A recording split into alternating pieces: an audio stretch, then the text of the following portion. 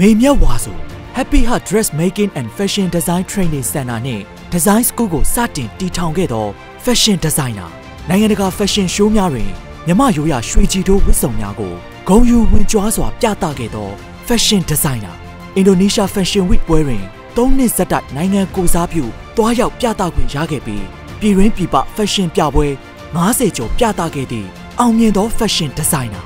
ကဘာကလေးစားရသောမြမပြည်ပွား